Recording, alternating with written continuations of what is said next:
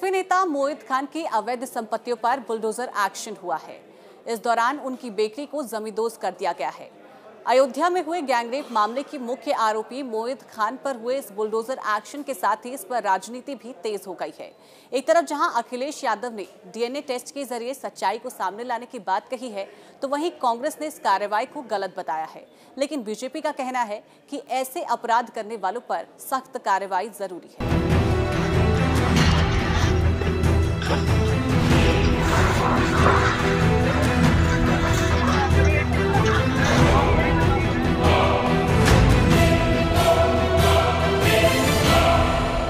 अयोध्या में नाबालिग से गैंगरेप के आरोपी सपा नेता मोइन खान की अवैध संपत्ति पर जैसे ही बुलडोजर चला, समाजवादी पार्टी एक्टिव हुई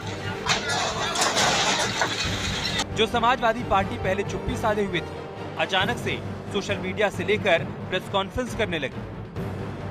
पार्टी अध्यक्ष अखिलेश यादव को भले ही पीड़ित बच्ची से संवेदनाएँ हों या फिर ना हो, लेकिन उन्होंने डीएनए टेस्ट से इंसाफ करने की मांग की। अपने एक सैंडल पर अखिलेश ने लिखा, कुकृत्य के मामले में जिन पर भी आरोप लगा है, उनका डीएनए टेस्ट कराकर इंसाफ का रास्ता निकाला जाए, न कि केवल आरोप लगाकर सियासत की जाए। जो भी दोषी हो, उसे कानून के हिसाब से पूरी सजा दी जाए।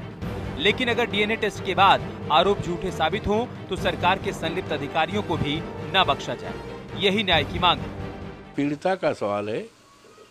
पीड़िता के साथ हमारी पार्टी हम लोग पूरी तरह से खड़े हैं।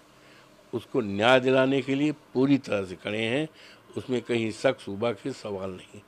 आज अफसोस के साथ कहना पड़ रहा है कि भारतीय जनता पार्टी इस पर राजनीति कर रही है।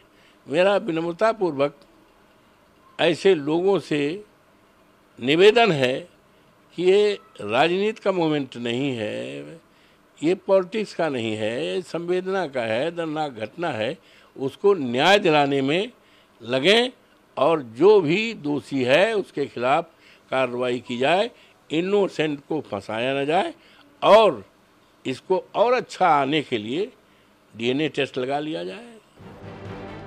मामले में हो रही कार्रवाई को बीएसपी अध्यक्ष मायावती ने सही बताया। वहीं अखिलेश यादव के डीएनए टेस्ट वाले बयान पर सवाल उठाए। मायावती ने कहा, यूपी सरकार द्वारा अयोध्या गैंगरेप केस में आरोपी के विरुद्ध की जा रही सख्त कार्रवाई उचित है। लेकिन सपा द्वारा ये कहना कि आरोपी का डीएनए टेस्ट होना चाहिए, इसे क्या समझा जाए? जबकि सपा को ये भी बताना चाहिए कि उनकी सरकार में ऐसे आरोपियों के खिलाफ कितने डीएनए टेस्ट हुए थे। डिप्टी सीएम केशव प्रसाद मौर्य ने अखिलेश यादव पर एक बार फिर से हमला बोला।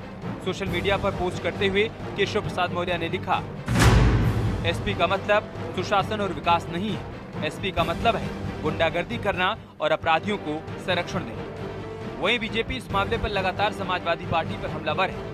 बीजेपी का कहना है कि अखिलेश यादव को चुल्लू भर पानी में डूब मरना चाहिए। उन्होंने डीएनए जाँच की मांग करके सारी हदों को पार कर दिया। पेट का दर्द अखिलेश जी यादव को नज़र नहीं आ रहा है। डीएनए की जाँच की याद आ रही है। इनके कारनामे समाजवादी पार्टी की सोच प्रतिष्ठित करती है कि ऐसे लोगों को बढ़ावा देना, ऐसे अत्याचारियों का साथ लेना, ऐसे अत्याचारियों का साथ देना। पार्टी से निकालना, पद से हटाना दूर की बात है। उस कन्या की तड़पन महसूस याद, नहीं हुई अखिलेश यादव को। तो इस तरह के जघन्य कर्म करते हैं, उनके ऊपर एक्शन पूरी तरह, एक्शन होना ही चाहिए। बहुत ज़रूरी है। जैसे कि अभी सदन में भी मुख्यमंत्री ने कहा था जो लखनऊ में घटना हुई जिसमें छेड़खानी की वारदात हुई बारिश हुई थी बारिश का पानी आ, लोगों पर डाला जा रहा था। तो उसको लेकर के मुख्यमंत्री ने कहा कि अब सद्भावना ट्रेन चलेगी अब बुलेट ट्रेन चलेगी। मुख्यमंत्री अब के जो भाव है वो करेक्ट है बिल्कुल और उनका उनको व्यक्त करने का भी उनका एक अलग यूनिक सा तरीका है। बिल्कुल बिल्कुल उन्होंने ठीक कहा ये। वही मामले को लेकर कांग्रेस ने भी बुलडोजर एक्शन पर सवाल उठाए। कांग्रेस प्रदेश अध्यक्ष अजय राय ने कहा कि भेदभावपूर्ण कार्रवाई। ऐसा है ये जानबूझ के टारगेट करके भारतीय जनता पार्टी के लोग कर रहे हैं। समाजवादी पार्टी का कोई कार्यकर्ता अगर किसी भी उसमें शामिल है उसको बुलडोजर चला रहे हैं। मैं कहता हूँ कानून व्यवस्था है आप करिए पर केवल टारगेट करके मत करिए। फ़िलहाल गैंगरेप के आरोपी सपा नेता मोइन खान पर कार्रवाई और मामले पर सियासत दोनों जारी। Report news eighteen.